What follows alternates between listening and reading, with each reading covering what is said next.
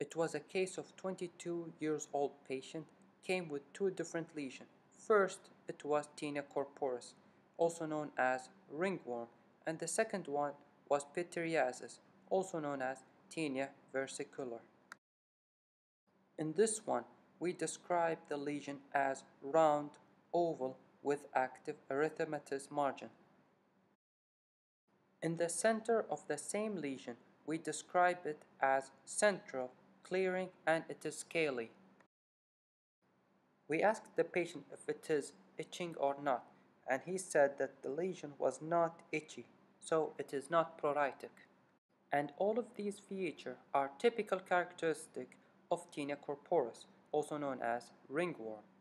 We diagnose it by microscopic examination of potassium hydroxide, KOH, to look for hyphae. The management is the same as tinea pedis, which I have mentioned in full detail in the video of tinea pedis. I'm going to provide the link later on. The same patient came with different lesion and this one is described as white scaling and there is no round oval erythematous as tinea corporis. It is caused by Malassezia furfur, also known as Pityrosporum ovale.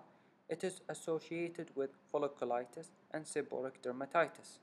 The management it is usually resolved on its own.